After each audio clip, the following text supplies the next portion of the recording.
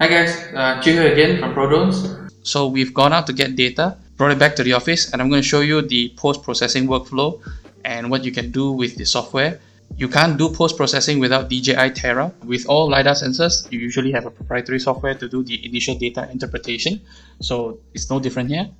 Uh, you have the Terra version that's for you to do processing and this is with the six months free license which is the electricity version so you get everything so once you've copied your data over into the computer, and uh, you're gonna see in the folder, you're gonna get various uh, files. So in the beginning, you're gonna get all the calibration data, IMU data, raw LiDAR data, as well as the RTK base and the uh, RTK antennas on the drone. Now remember the M300 has two RTK antennas, one on the left, one on the right.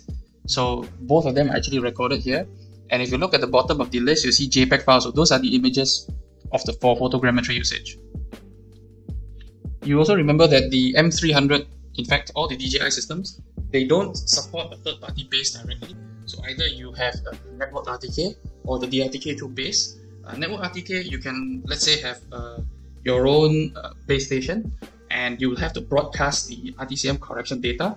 So that data will then get fed into the remote and then through the remote, uh, it will then be stored in your project folder. Now in the event you really have to do PPK, what you can do is uh, you can have uh, various uh, for formats of data. So if you see the screen there, you have the UBX, which is the raw for uh, u-blox. You have uh, RINEX, which is the most common format.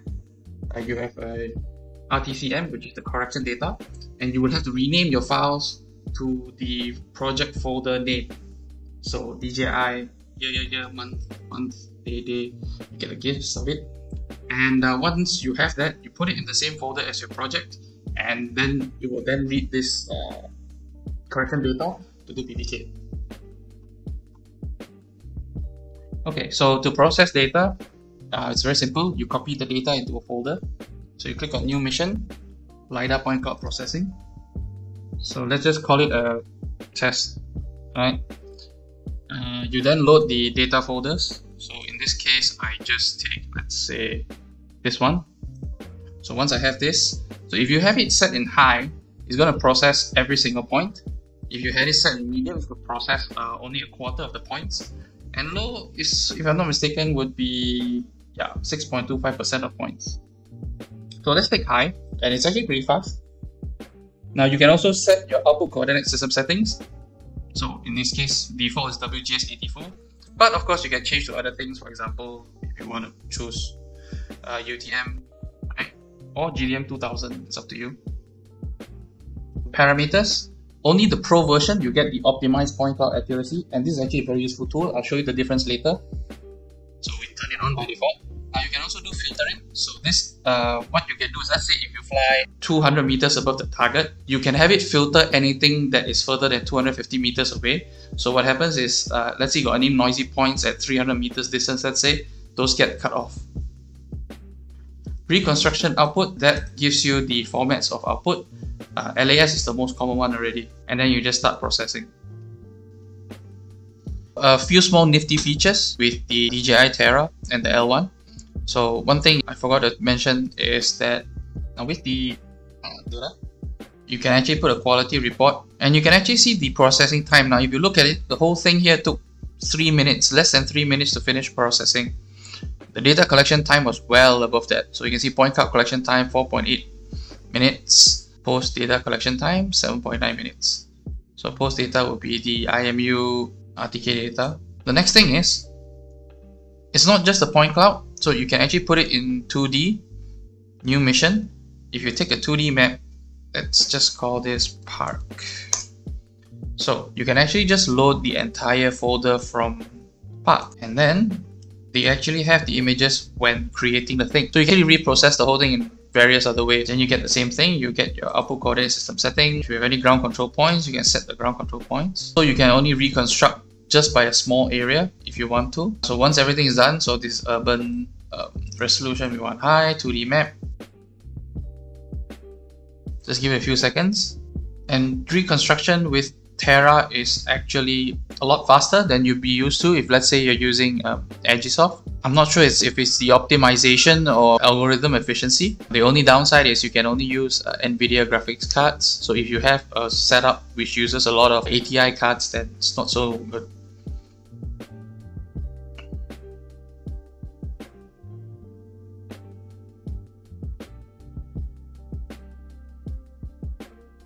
Now in the meantime, I can show you this. So we've actually tried a few things. So this is actually a power line scenario that we tested. And as you can see, it's it's pretty in height. Let's make it a little bit more clear. Yeah. So as you can see, the, the towers are reconstructed quite well. So you're doing um any sort of corridor mapping, I, I maybe haven't gotten the settings um 100% right, so we just got the unit. I may tweak the settings a little so that we can maybe catch the power lines a little bit better. But for first run, this is just 100, this is about 50 meters above the power line and we're getting this much uh, clarity already. It's not a 3D uh, mapping, it's just in one single flight. Right. Zoom in.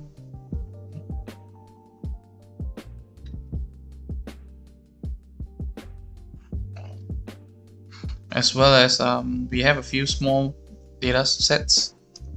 Um, this one is on a river. Uh, it's near our office. So as expected, uh, you're gonna get a lot of holes on water.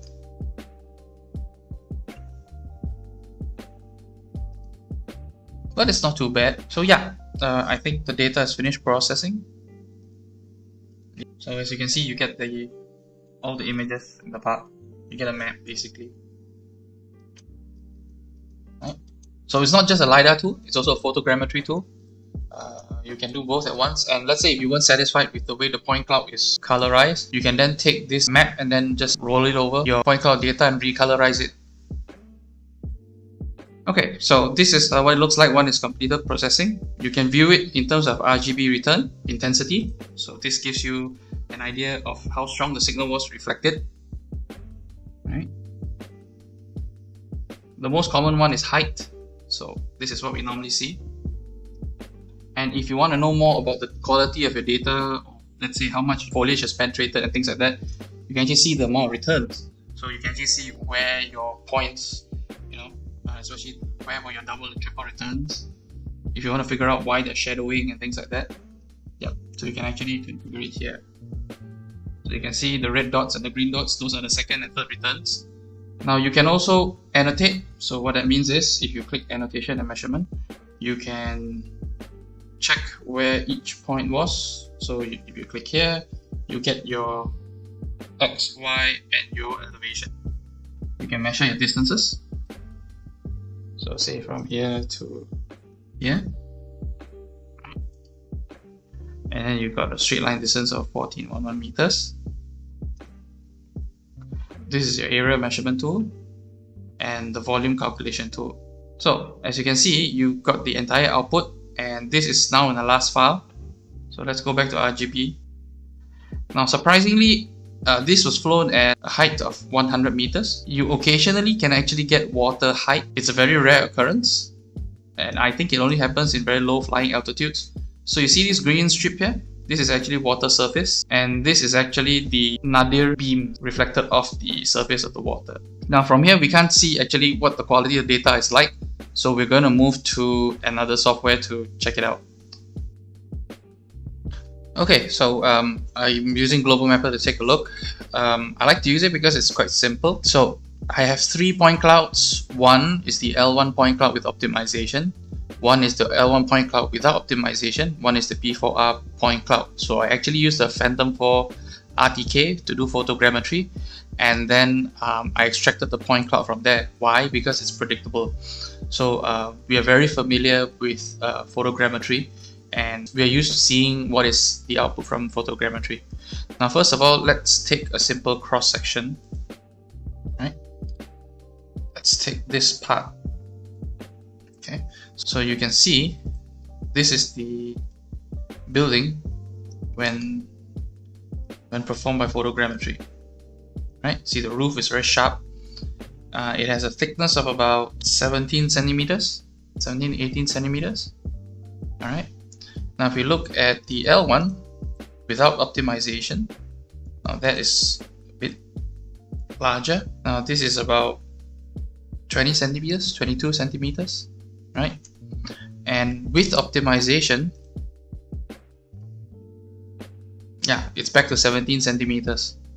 And this is across the same area. So you can see that uh, the optimization tool inside actually works, right? Next, we look at by color. Now let's take these squares. Colorization isn't perfect. If you look at these tiles, let's look at the actual what it's supposed to look like. They are just actual squares on the ground. But if you look at either one, they are miscolorized. So you don't get that square by square, it's all splattered here and there a little bit. But if you look at the actual uh, ground, it's fine, right? Um, of course, a very good point to test would be a surface like this, where it's almost flat, right? And you can see the vertical elevation is very little. Now this was flown at about 100 meters height. It's the same as doing photogrammetry. And you can see the data is quite accurate, uh, especially once you take this and compare. So let's put a point just to check the accuracy. Let's put an edge here. Okay. Corresponds with the LiDAR as well. Well, if you really want to project it, let's put it somewhere here. Uh, the distance between the two points would be very small. It's very close. It's a few centimeters apart. So if you're looking in terms of XY accuracy, it's there. It's pretty good. Now, of course, the true measure of uh, the LiDAR's capability is very simple. So what I did was um, I put this data through the software. Uh, I had the noise points removed then I did a classification. So I classified ground. So as you can see, these are all ground points. Now, uh, just to make it clearer, we can actually just remove everything except ground. So these are all the ground points, right? A large percentage of it still remains, which is a good sign, right? And then I actually created the DTM. So as you can see, um, most of the details are still there. You have your actual ground, but uh, not only that, you get the road network that is under the canopy. So it's clear enough that you can see the jogging path that's under the canopy. So if under normal case, all of that will be covered. All of this is covered by trees. So if we just take that away. Yep. So you even get the drain at the end of the path. That one, if you didn't have a tool to extract it, you would barely see it. It's all covered by vegetation. It actually managed to recover that. And uh, there is a river here that is covered by the uh, vegetation as well. So as you can see, this is all trees, right? Are all trees. So you can actually see underneath the trees, there's actually a drain.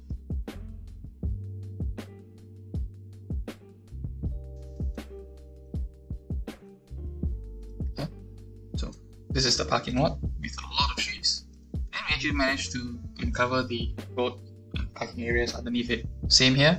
Underneath the trees here, there's actually a slope, a change in elevation. So it actually managed to dig out the road underneath with the few steps down gradient. Yeah, so from here you can actually see that the LiDAR is pretty effective.